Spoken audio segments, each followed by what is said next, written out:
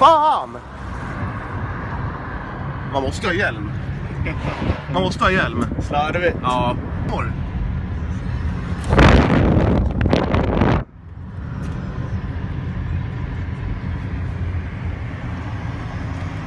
Känns det? Är det bra Ja, eller? helt trött. Helt slut? Ja. Du får bara mosa. ja. Alltså hur långt är det alltså? Det är helt sinnessjukt det här. Det är två mil, nej en mil kvar. Ni har inte ens kommit fram än. Det är helt sjukt. Jobbigt. Obäck.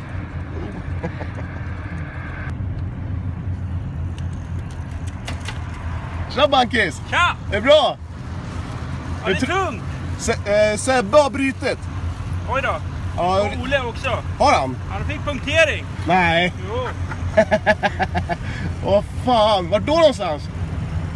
Kan inte det ligga i sån här 25 så kan jag ligga bakom bilen i draget.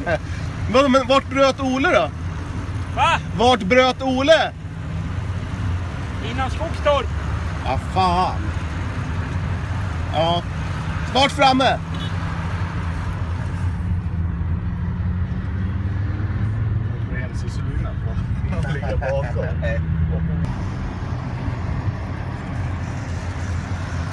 Ole har brutit. Ja, jag vet. Sebbe också. Varför det? Jag vet det, vi såg bara Sebbe vid Skogstorp, vid järnvägen. Jaha.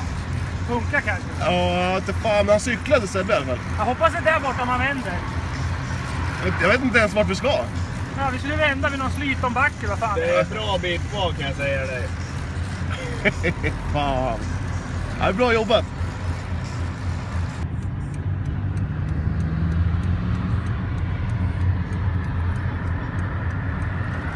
Tjena! Tjena!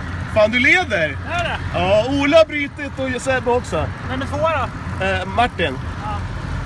Det kan inte vara så långt kvar va? Ja, mil kanske. Ja.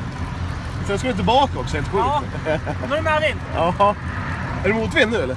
Va? Är det motvind nu? Ja, lite. Ja, bra jobbat. Jaha, tack.